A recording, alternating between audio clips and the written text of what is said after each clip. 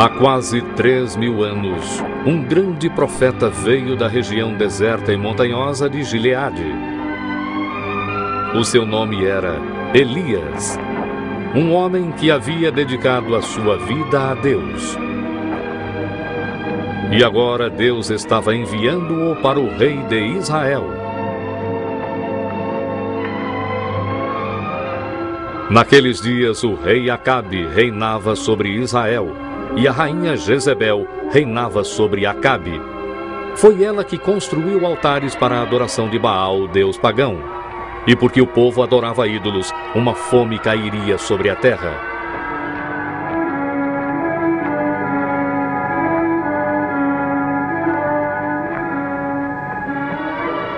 Viva o Senhor Deus de Israel, a quem eu sirvo. Que nestes anos nem orvalho nem chuva haverá, senão segundo a minha palavra. Então o Senhor falou com Elias, dizendo: Vai-te daqui e esconde-te junto ao ribeiro de Carite. Tu beberás do ribeiro, e eu tenho ordenado aos corvos que ali te sustentem.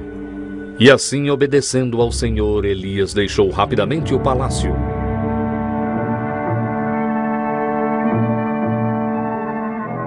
E Elias viveu no deserto e bebeu do ribeiro de Carite, e os corvos lhe traziam pão e carne toda manhã e toda noite. Dessa forma, Deus lhe dava comida. Mas depois de algum tempo, o ribeiro secou porque não havia chuva. Então o Senhor falou de novo com Elias, dizendo: Levanta-te, vai a Sarepta e habita ali. Eu ordenei a uma viúva que vive lá que te sustente.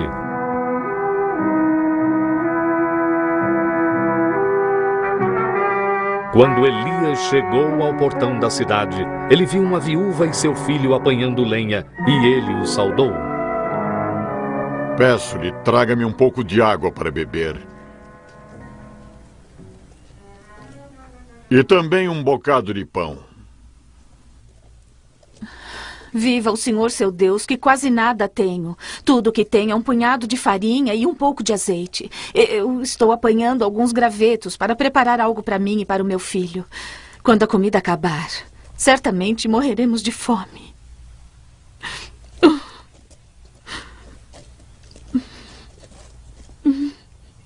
Não tema. Vá e faça o que eu disse. Porém, faça primeiro para mim um pão pequeno.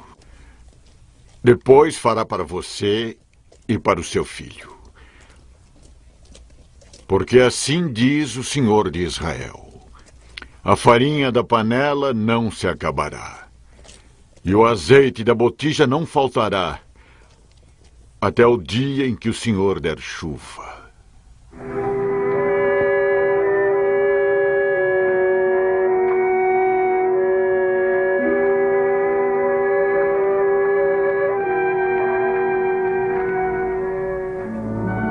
Obediente, a viúva fez o que Elias mandou. E ela, o seu filho e o profeta comeram por muitos dias. E assim como Deus tinha prometido, havia sempre farinha na panela e azeite na botija. Então Elias ficou na casa da viúva, em um quarto superior. Mas um dia o filho da mulher adoeceu e morreu.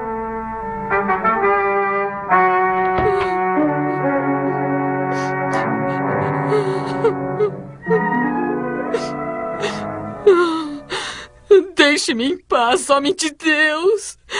Você veio para me lembrar dos meus pecados e matar o meu filho. Dê-me o seu filho.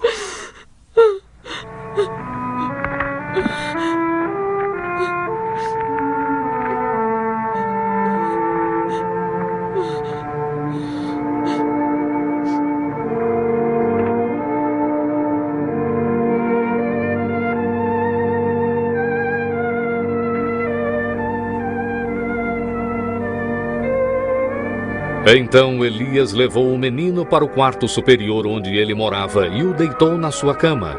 E quando eles ficaram sozinhos, ele orou ao Senhor. Ó oh, Senhor meu Deus, Faze este menino viver de novo.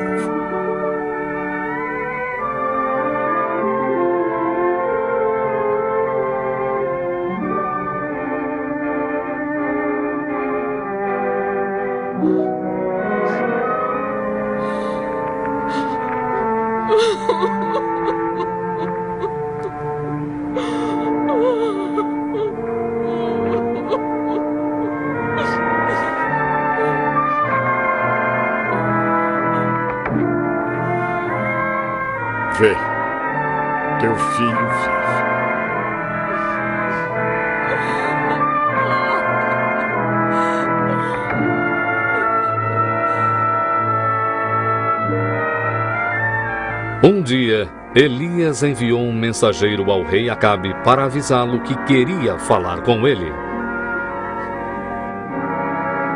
É você quem tem perturbado Israel? Eu não tenho perturbado Israel, e sim você e a sua casa, porque você abandonou os mandamentos do Senhor e adorou a Baal. Envie homens para juntar todo Israel no Monte Carmelo. E também os 450 profetas de Baal.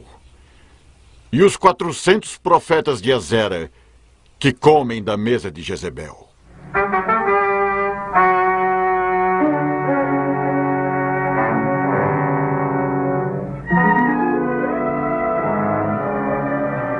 Assim todo o povo e os sacerdotes de Baal se reuniram no Monte Carmelo, e eles esperaram para ver o que Elias faria. Até quando se dividirão entre dois pensamentos? Se o Senhor é Deus, sigam-no.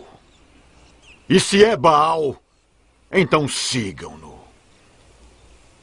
Deem-nos dois bezerros.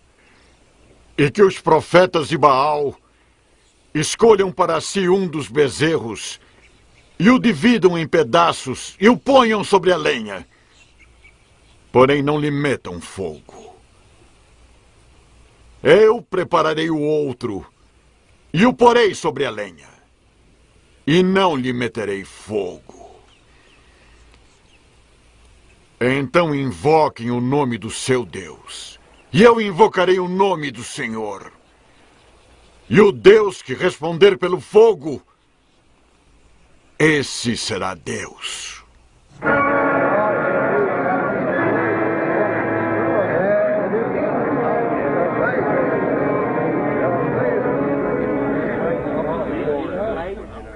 Primeiro, os sacerdotes de Baal ofereceram sacrifício no seu altar, e eles invocaram o nome de Baal desde a manhã até ao meio-dia, mas não houve nenhum tipo de resposta, nenhum fogo se manifestou no altar. Então Elias começou a zombar deles. Clamem mais alto! Ele é o seu Deus! Pode ser que esteja perdido em pensamentos ou em alguma longa viagem. Ou talvez ele esteja dormindo e tenha que ser despertado. Os sacerdotes de Baal clamaram mais alto e continuaram até tarde, mas ainda assim não houve resposta. Então Elias consertou o altar do Senhor que havia sido destruído. Ele pegou doze pedras, uma para cada uma das tribos de Israel, e reconstruiu o altar. Ele abriu uma vala em sua volta, arranjou a lenha e dividiu outro bezerro e o pôs sobre a lenha. Encham cântaros de água e derramem sobre o sacrifício e sobre a lenha.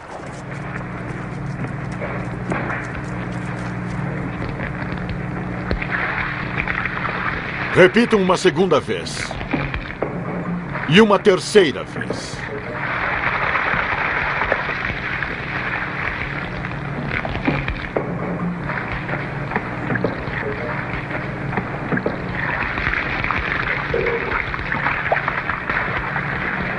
Ó Senhor Deus de Abraão, de Isaque e de Israel, manifesta-te hoje que tu és Deus em Israel e que eu sou teu servo e que conforme a tua palavra fiz todas estas coisas.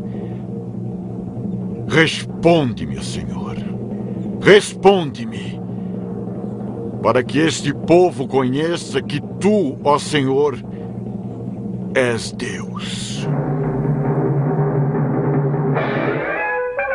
Então caiu fogo do Senhor e consumiu a oferenda, a lenha, as pedras e o pó, e ainda lambeu a água que estava na vala. E então o povo acreditou no Senhor.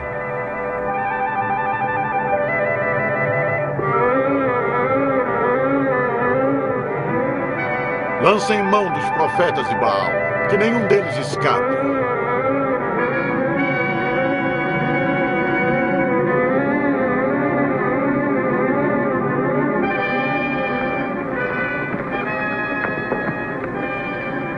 Volte para o seu palácio, rei Acabe, pois logo haverá chuva abundante.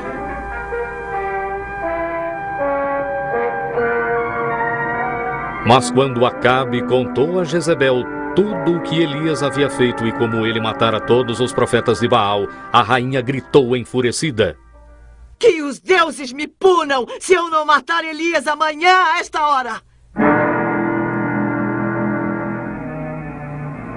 Para salvar a sua vida, Elias fugiu para o deserto onde ele pediu para morrer.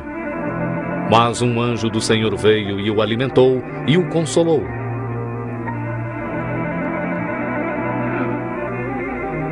Por fim, Elias chegou ao Monte Sinai, onde Deus havia falado com Moisés centenas de anos antes. Enquanto Elias sentava em uma caverna no monte, um vento forte varreu o topo da montanha, mas o Senhor não estava no vento. Depois do vento veio um terremoto, mas o Senhor não estava no terremoto. Depois do terremoto veio fogo, mas o Senhor não estava no fogo e depois do fogo veio o som de um sopro delicado.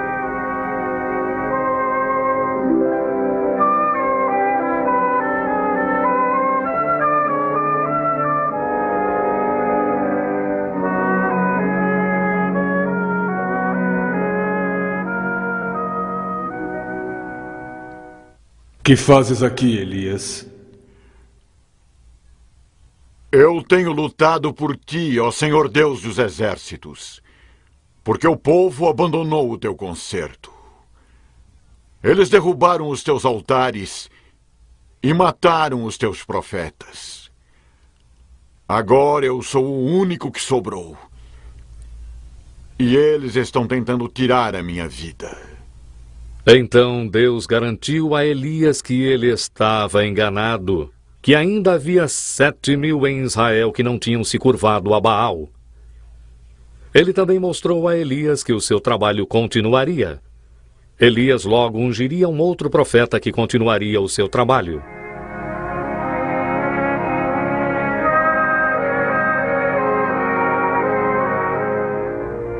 E assim, com fé e coragem renovada, Elias deixou o Monte Sinai para continuar o seu trabalho.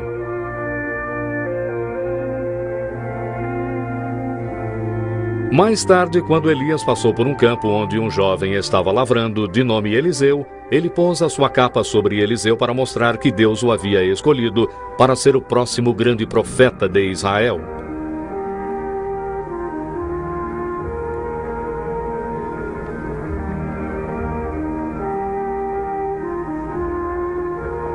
E Eliseu deixou tudo para trás e o seguiu e o serviu. Mas um dia Elias sentiu que era hora de deixar Eliseu. Ele tinha fielmente feito o trabalho de Deus na terra e estava prestes a ser elevado ao céu. Mas antes, ele se ofereceu para fazer uma última coisa para o seu discípulo.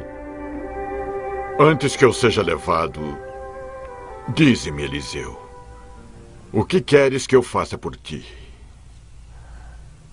Peço-lhe que haja porção dobrada de seu espírito sobre mim. Pediu-me uma coisa difícil.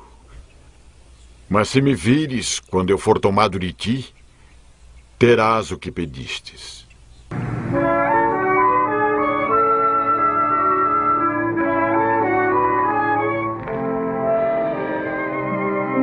Eliseu viu um carro de fogo e cavalos de fogo que ficaram entre ele e Elias. E Elias subiu ao céu em um redemoinho. Então Eliseu pegou a capa de Elias que tinha caído no chão e partiu para realizar o trabalho do Senhor, pois ele sabia que desse dia em diante o Espírito do Senhor estaria com ele, assim como havia estado com Elias.